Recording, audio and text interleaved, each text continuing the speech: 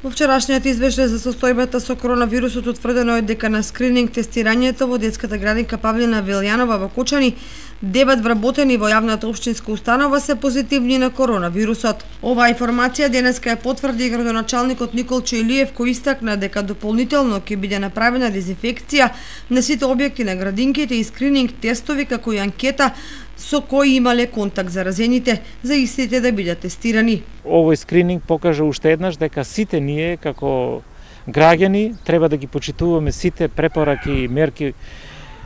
преземени од страна на надлежните, со што ќе спречиме понатомошно ширење на коронавирусот. Токму тоа го покажа и овој скрининг, кој што покажа дека луѓето без никакви симптоми секпак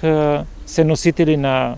вирусот, односно се позитивни на вирусот и во колку не беше направен овој скрининг, веројатно со отварањето на градинката, со влегувањето на децата во градинките ќе направивме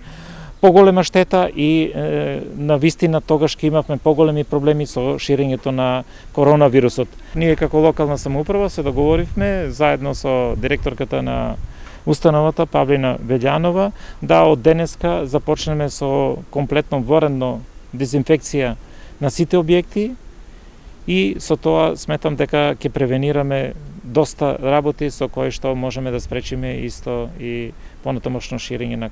COVID-19. Илиев додаде дека во текот на утрешниот ден ќе биде свикан и општинскиот кризен штаб каде ќе се разгледа и анализира состојбата со COVID-19 во Кочани и доколку е потребно ќе се донесат дополнителни мерки за заштита од ширење на вирусот.